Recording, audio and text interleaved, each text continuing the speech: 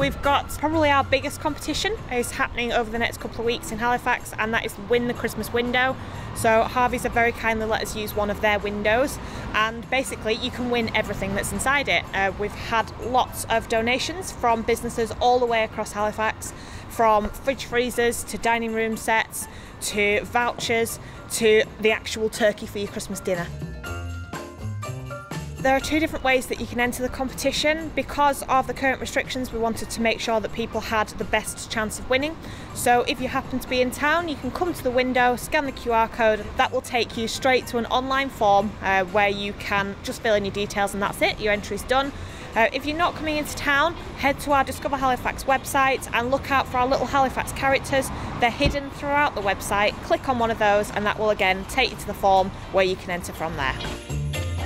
Like a lot of the country, lockdown has had a massive impact on our retailers and, and other businesses in the town. Come December the 2nd, those have had an opportunity to reopen and catch up on some of the lost trade from uh, uh, late November and the run into Christmas.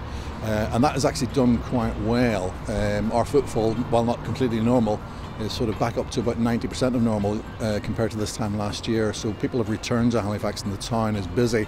Obviously, we're trying to maintain things such as social distancing and so forth in the town and making sure people are wearing masks and, and keeping it safe. But it's good to see customers going back into the town. The businesses of Halifax offer great variety and great quality, um, and you don't need to sacrifice anything to be able to shop local and support your Halifax businesses.